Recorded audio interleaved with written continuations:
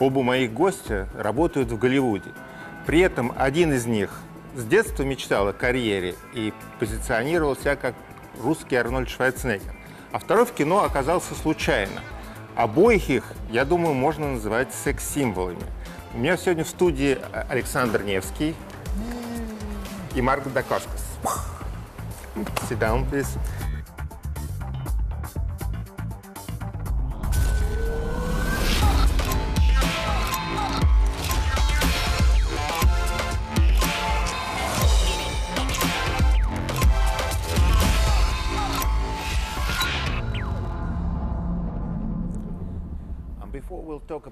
Прежде чем мы поговорим о фильме «Черная роза» и других ваших совместных проектах, хотелось бы узнать, как вы познакомились, когда и как. Марк, я, наверное, начну, если что, ты продолжишь. Меня очень вдохновляли картины с участием Марка Дакаскаса. Как я уверен, и миллионы других россиян и москвичей. Это были 90-е, когда мы доставали пиратские копии фильмов со Шварценеггером, Сталлоне и Дакаскасом. И в первом фильме с его участием, который я посмотрел, только сильнейший. Он был таким накачанным, мускулистым и так всех дубасил, что меня настолько впечатлило, что я начал заниматься кикбоксингом и другими видами спорта. Это было много лет назад, но когда меня представили Марку лично, я был так поражен тем, какой он замечательный человек в жизни был и есть. Я думал тем, какой я худой. Есть немного. Я хочу сказать, что это было большой честью познакомиться с ним. Спасибо, это так забавно. Он как мой папа, который каждый день твердит, ешь больше, тебе надо нарастить мышцы. Потому что я хочу, чтобы ты был таким, как я тебя помню. Насколько я знаю, Александр, ваши родители вначале не одобряли ваше увлечение бодибилдингом. Мне повезло, что у меня прекрасная мама. Папу не особо интересовало, кто я и что я. Мама же всегда заботилась обо мне, и ее волнует моя жизнь. Она не хотела, чтобы я занимался кикбоксингом или боксом, поднимал тяжелые веса, получал по лицу, по носу. Но когда она поняла, что мне это нужно, а почему вам было это нужно? Потому что в школе я был очень худеньким. Я увлекался поэзией, читал разные книжки, «Мушкетеров» Дюма, например, или другие приключенческие романы. Но я никогда не занимался спортом. И все ребята, которые понятия не имели, кто такой Дюма или мушкетеры, могли побить тебя только потому, что ты любишь и знаешь поэзию, а они нет. Э, Девочкам нравишься ты, а не они. Uh, uh, И когда я столкнулся с издевательствами в школе, я понял, что хочу заниматься боксом, я хочу уметь постоять за себя. И мама приняла мое решение. Когда уже позже я сказал ей, «Мам, я хочу стать бодибилдером».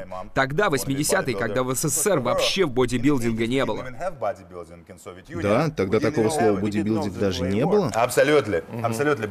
И тем не менее, каким-то образом она достала мне билет на фильм со Шварценеггером «Конан Разрушитель», который показывался на Московском кинофестивале в 1986 году, представляете? И я думаю, мы должны сказать Вы были подростком тогда? Вам тогда было 15 лет? Да, и я хочу поблагодарить человека, который в 1986 году пригласил Арнольда Шварценеггера в Москву, в советскую Москву. Это изменило мою жизнь, и именно мама дала мне деньги на мои первые гантели. Наверное, у вас никогда не было такой проблемы с приставаниями в школе школе, потому что в 7 вы уже были чемпионом. Да, я уже дрался и тренировался, но штука в том, что я маленький. Я не Александр Невский, посмотрите на его руки. Все ему завидуют. Эти руки, как мои ноги. Спасибо. Поэтому никто меня не боялся из-за моей комплекции. Поэтому мне просто необходимо было заниматься боевыми искусствами. Во-первых, потому что я вырос в Германии, а там ребята здоровые. Во-вторых, чтобы чувствовать себя увереннее, я должен был уметь драться, потому что везде есть задиры и хулиганы. Но если ты излучаешь внутреннюю уверенность, то обычно удается избежать конфликта. И к тому же я никогда не напрашивался на драку, поэтому боевые искусства научили меня многому. А что насчет ваших детей? У вас два сына. Они тоже занимаются боевыми искусствами? Я учу их боевым искусствам, но мы не участвуем в соревнованиях, рейтингах, не получаем пояса. Я просто хочу, чтобы они умели постоять за себя, чтобы они знали, что такое тяжелая работа, чтобы они были здоровыми и крепкими, а также обладали силой воли. Интересный факт о боевых искусствах, бодибилдинге и спорте вообще. Ты получаешь сильное тело, но если ты дисциплинирован, регулярно и усердно тренируешься, ты также развиваешь свое сознание, свой ум и сердце. Вы оба, вы и Джули, ваша жена, из шоу-бизнеса. Что насчет детей, младшей дочери и старших сыновьях? Они пойдут по вашим стопам? Это хороший вопрос. знаю. В данный момент я... Мой старший сын потрясающий музыкант. Он играет на саксофоне, а также любит готовить. Может, он даже для нас что-нибудь приготовит. Второй сын обладает прекрасными математическими способностями и играет в футбол. А дочь, младшенькая, скорее всего, ближе всех к нашему пути. Она любит петь, танцевать, прекрасно импровизирует. Поэтому, возможно, возможно. А расскажите про их имена. У них у всех какие-то необычные гавайские имена. Да, у всех трех. Я из Гавайи, и мои родители тоже оттуда. Джулия, однако, моя жена, из Техаса.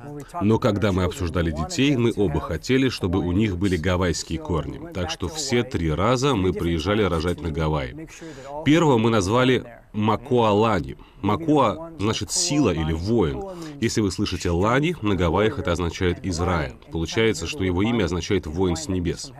Второго сына мы назвали Капона, что означает по справедливости, то есть быть правдивым, быть справедливым. Я думаю, ему очень подходит это имя. Ему надо соответствовать своему имени. А Ноэлани, девочку, мы назвали, потому что Ноэ означает ожидаемое, то, почему скучают или его ждут, как дождь. А Лани — это снова с небес, получается ожидаемое с неба. О чем вы мечтаете сейчас? О чем мечтает Александр Невский? Александр Невский ни в коем случае не циничный. Наоборот, я романтик. Но сейчас у меня более практичные, реалистичные мечты. Например, у меня есть пара недель до премьеры моего фильма, поэтому я должен убедиться, что все идет правильно что фильм закончен, дублирован на русский язык. Потому что фильм «Черная роза» выйдет на большие экраны в России уже 6 февраля. «Черная роза». Черная роза. Черная роза. Да, и знаете, вы меня поставили в непростое положение, потому что обычно мы с Марком даем интервью в России на русском, и я вызываюсь быть переводчиком. А когда Марку задают вопросы, чтобы там не спросили, чтобы он там не ответил, и я говорю о своем фильме «Черная роза». Вот так мы и поступаем. Но если говорить серьезно о моих мечтах, Наверное, сейчас я хотел бы крепкого здоровья для мамы и моих близких, а всего остального я добьюсь сам. Расскажите поподробнее о черной розе. Uh, Прежде всего, я расскажу, какое отношение к «Черной розе» имеет Марк. Да, это то, что я хотел бы услышать. Потому что, повторюсь, он вдохновил меня своими фильмами, старыми добрыми экшен-фильмами, которых сейчас не так-то много, всех боевиках о супергероях. Uh, и у нас с Марком произошла следующая история. Я позвонил ему и сказал, Марк, у меня для тебя две новости, хорошая и плохая. Он такой, начинай с плохой. Ну, у нас для тебя нет хорошей роли в фильме «Черная роза». Он отвечает, тогда какая же хорошая новость, Александр? Я, я уже забоялся, что он бросит трубку и вообще не захочет со мной больше говорить. И я тут же сказал, что есть другой фильм, который писался полностью под тебя. И ты будешь главным героем этого фильма, будешь снова вдохновлять людей. Тогда он сказал, хорошо, продолжай. А говоря о Черной Розе, я там играю российского начальника полиции, майора, который приезжает в Лос-Анджелес. Ему нужно поработать с лос-анджелесской полицией в течение одного месяца, чтобы помочь им найти убийцу. Серийного маньяка? Да, серийного убийцу, который убивает только американок русского происхождения. И никаких улик, ничего, только черная роза на телах убитых. Поэтому глава Лос-Анджелесской полиции решает пригласить русского для расследования. И сейчас не лучшие отношения между Америкой и Россией, многие против такого сотрудничества. Но глава полиции настаивает на своем. И они получают русского майора полиции, огромного парня с гигантской пушкой, который с подозрением относится к Голливуду, потому что в Америке впервые. Его английский далек от совершенства, но он хочет быть крутым, хочет быть в теме. Но он не знает прав, которые нужны зачитать преступнику в Америке перед тем, как застрелить его. И никто не хочет работать с ним, кроме одной девушки, которая становится его партнером. Детектив, который играет Кристана Локон, звезда Терминатора 3. И честно вам скажу, Кристана прекрасная девушка, актриса. Но она реально умеет стрелять, даже не моргая, ходить как Терминатор. Для меня это был интересный опыт. Еще Эдриан Пол снялся в фильме, а также Роберт Дави. И, кстати, Роберт Дави сразу после «Черной розы» поехал в Болгарию сниматься в фильме «Неудержимые три» со Сталлоне. Он там играет злодея. Для меня это был колоссальный опыт, потому что я впервые занимался режиссурой и продюсированием, а также снимался. И я так устал, так устал, что когда Марк спросил по поводу следующего фильма, «Ты там будешь играть главную роль?» Я сказал, «Ни за что, это будет твоя звездная роль, а я буду только продюсировать». Вообще-то сценарий фильма, где русский полицейский приглашается в Америку в Голливуд для расследования преступления, напоминает мне старый фильм с Арнольдом Шварценеггером в главной роли. Вы знаете, о каком фильме я говорю? «Красная жара». Uh, да, и говорю об убийце. Вы знали, что фильм, который в оригинале называется «Crying Freeman», «Плачущий свободный человек», в России называется «Плачущий убийца». Вы слышали об этом? Да, я слышал что-то подобное, слышал. Что вы думаете насчет этого? Я думаю, это название попало в точку, потому что мой персонаж телом принадлежал китайской мафии, но они не имели власти над его сердцем, его душой. Поэтому он делал, что они хотели, но, тем не менее, э, освобождает свою сущность. Это правда, что ваша первая попытка сняться в кино представляла собой разговор с маленькой китайской девочкой и затем французский поцелуй? А это хорошее замечание. Да и да. Эта китайская девочка была Джоан Чен из «Последнего императора». Поэтому меня можно понять, когда я согласился на эту роль. Вы решили, что в шоу-бизнесе не так плохо, в конце концов? Да, да. Потому что вы, в общем-то, никогда не мечтали о шоу-бизнесе или карьере актера. Вас просто заметили на улице и пригласили сняться. Совершенно верно. В детстве я занимался боевыми искусствами и даже думал о том, чтобы стать буддийским монахом. В Тайване? Да, в Тайване. Я родился и вырос в Германии, затем переехал на Тайвань изучать буддизм и стать монахом. Быть как Джет Ли в фильме «Храм Шаолиня». Он меня очень вдохновил. Когда этого не вышло, я подумывал стать писателем, писать романы или короткие рассказы. Но я никогда не думал стать актером или кем-то в этом роде. А потом, когда мне было 18 лет, я гулял по Чайна-тауну в Сан-Франциско. Один? Нет, кстати, с моей девушкой. И я только закончил преподавать урок боевого искусства для мамы, шел пообедать и размышлял, что мне делать по жизни. Что пойти изучать в университете? Ко мне подошли двое мужчин и спросили меня, не актер ли я. Я ответил, что нет. Они тогда предложили поучаствовать в прослушивании. Я сказал «нет». Они спросили, почему нет. Я ответил «зачем? Это не моя мечта». Они сказали «окей, возьми наш номер, и если передумаешь, позвони нам, мы устроим тебе прослушивание». Я вернулся домой, поговорил с мамой. Она сказала, что жизнь — это большое приключение, и надо попробовать все, никогда не знаешь. Тогда я пошел на прослушивание. Меня взяли, и вот я стою, разговариваю, целуюсь с прекрасной девушкой, и мне еще за это платят. Быть актером — это круто.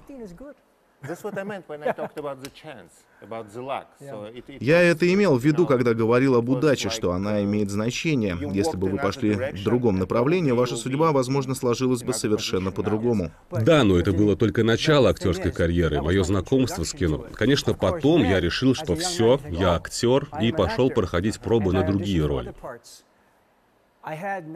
У меня был врожденный талант, но не было навыка, поэтому я не получил всю роль, и это было ужасно.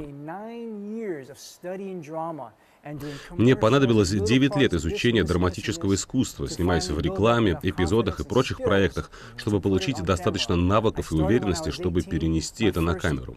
Я начал карьеру в 18, а получил свою первую главную роль в 27 в «Американском самурае», а моя первая студийная роль далась мне в 28. Итого 10 лет изучения драматического искусства, и только потом моя карьера пошла в гору. Как я и говорил, хорошо быть везунчиком, но этого недостаточно.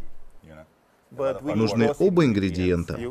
Совершенно точно. Как когда готовишь, нужно иметь все ингредиенты, чтобы приготовить блюдо. Верно, очень хороший пример. Так как ваша жена вряд ли преданный фанат нашего канала и вряд ли увидит эту передачу. Почему же? Увидит. Мы убедимся в этом. Да, они хорошо знают друг друга. А вы последите за этим? Да. Я должен спросить, поскольку она тоже актриса, работает в той же индустрии. Как вы, как супруги, относитесь к поцелуям и другим интимным вещам на камеру? Она вас не ревнует? Вы также несколько раз приезжали в Россию, а это опасная страна для сохранения целостности семьи. Да. Нет. Так да или нет? Я очень строгий хозяин. Так да или нет? Нет. Нет. Нет. Нет, нет. Безусловно, русские люди очень привлекательны, но говоря о ревности, возникающей из-за работы, связанной с близостью с другими людьми, конечно, мы ревнуем, мы же люди. Мы понимаем правила игры, но когда твоя девушка, возлюбленная или жена, как в моем случае, целуется с кем-то еще, я понимаю, что это работа. Но я также знаю, что как актер ты вкладываешь чувства в это, и губы есть губы, они соприкасаются. Разумеется, это странно. Конечно, это неприятно. Но ты справляешься с этим, как и со многими другими вещами. Она была актрисой еще до нашей встречи. Она любит искусство. С чего вдруг ей бросать его? Тем не менее, ей пришлось, потому что у нас трое детей, ей больше не надо никого целовать. Так что я могу больше не беспокоиться. Это ей надо волноваться за меня. Вы были в России семь или восемь раз, да? Да. А она не ездила с вами? Да, в первую поездку. В первый раз? Да, и как Александр мне рассказывал, мы с Джулией были в России в 97 году, и я давал интервью, типа пресс-конференции, и Александр говорит, что был там. Это была премьера «Плачущего убийцы» в 1996 году, и я пришел на показ. Какое интересное стечение обстоятельств, что мы такие разные, с разных концов планеты, и вот этот парень будет продюсировать мой следующий фильм. Это реально круто. Я бы хотел спросить про следующий фильм, над которым вы будете работать вместе в феврале. Марк может рассказать про фильм «Изменяющий жизни». Да, конечно. Мне кажется, это отличная отправная точка для Александра и очень смело с его стороны, потому что «Изменяющий жизни» — наш первый совместный фильм, и его следующий фильм, как и мой, является драмой. Мы постараемся привнести немного юмора в этот фильм, возможно, немного экшена, но это очень трогательная история о человеке, который находит себя, спасая ребенка. И если мы все сделаем верно, мы обязательно покорим зрителя в самое сердце. У нас есть новая традиция на нашей передаче. Мы играем в такую игру. Игра называется «Правда». Играет в нее следующим образом. У нас есть карточки четырех цветов и маленький рождественский мешочек, в котором четыре камешка разных цветов. И для каждого камешка есть несколько вопросов, написанных на карточке. Итак, вы выбираете камешек, тем самым выбираете цвет и, соответственно, карточку, и отвечаете на вопросы, если хотите, конечно. Если нет, то вы можете отказаться от ответа и сказать «я не буду отвечать на этот вопрос». Что тоже является ответом. Да, точно. Итак, если я правильно помню, то самые сложные вопросы на красной карточке. Хорошо, конечно. Да? Тогда нам надо выбирать ее. Будьте осторожны. Кто первый? Кто начнет? Александр, давайте.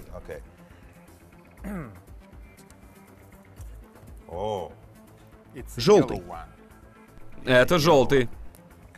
Тогда тяните желтую карточку. И что это за вопрос? Да ну вас! Уходил ли я когда-нибудь из кафе или ресторана, не заплатив по счету? Что? Нет. Крали ли вы когда-нибудь из ресторана? Нет, точно нет. Абсолютно нет. Может, вы просто не помните? Я же не пью. Может, в подростковом возрасте? Вы уверены?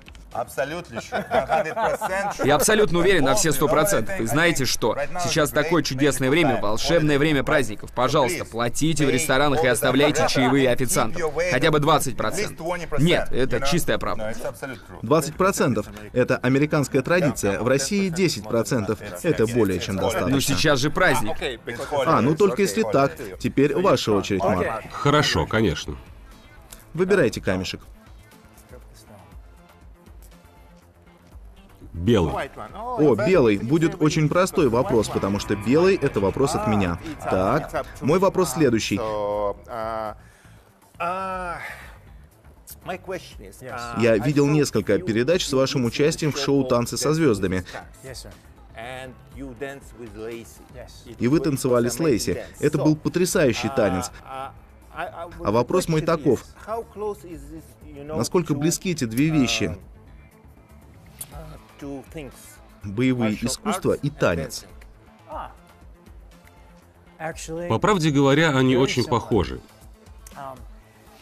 Есть такое искусство, называется капуэйра. Это бразильское боевое искусство, которое ты практикуешь только под музыку. И, к счастью, э, я немного знаком с капуэйрой, так что мне приходилось заниматься ею. Поэтому переход от боевых искусств к танцам через капуэру был непростой. Но не слишком. К тому же я играю на барабанах, я играю с 13 лет, и даже немного на гитаре, так что у меня есть чувство ритма. Самое сложное было выучить хореографию и притереться с партнершей характерами. И еще один вопрос, который не имеет отношения к карточкам. Просто вы упомянули, что играете на барабанах. Какая у вас любимая музыкальная группа? Если бы мне пришлось выбирать одну, Да. это была бы группа из 70-х или 80-х. Earth, Wind and Fire. О, я их знаю, у них достаточно сложная музыка. Пересечение стилей. Да, не только рок-н-ролл. Ой, мне так понравилось, как вы отвечаете на вопросы, что, может быть, вы еще раз это сделаете? Давайте я. Можно даже проще. Вы задали вопрос Марку про связь боевых искусств с танцами. Я тоже снимался в танцах со звездами. Могу рассказать про связь танцев с бодибилдингом, если хотите. Пожалуйста. И про свою любимую группу. Сразу видно, что он продюсер. Все нужно держать под контролем. Пожалуйста, пусть все будет по-вашему. Когда я снимался в танцах со звездами, у нас тоже были судьи, правда, немного более строгие, чем в американской версии. Но ничего, ничего. И некоторым из судей не нравилось то, что я бодибилдер, и поэтому мы с моей партнершей Оксаной не делали ничего связанного с бодибилдингом.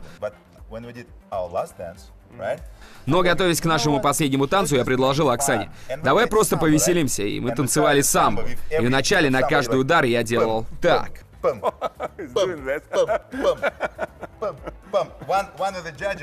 И один из судей, очень известный артист балета, был готов повеселиться.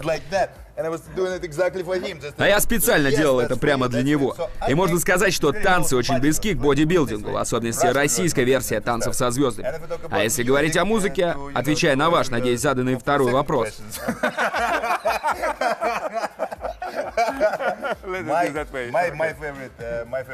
Моя любимая команда из 80-х — это ACDC. Если говорить о русской музыке, то я всегда очень любил группу «Кино» и Аллу Пугачева. Алла Пугачева?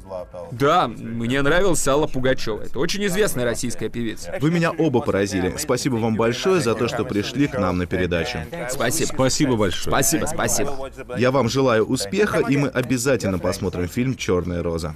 А, но на самом деле с правдой лучше не шутить. Мы шутили сегодня много и шутили, как мне кажется, удачно. Я говорю о своих гостях, но с правдой лучше не шутить.